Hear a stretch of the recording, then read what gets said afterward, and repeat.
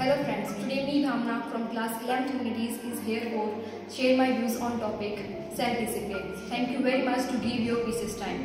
Self-discipline is very play a very important role in our life.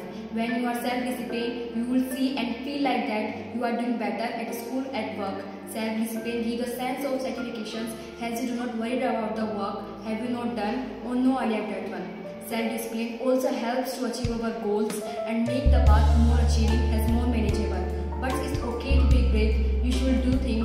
when you do not feel motivated. Self-discipline is an ability to ability of individuals to act according to his or her knowledge and experience. So become a self-disciplined person in your life. Thank you.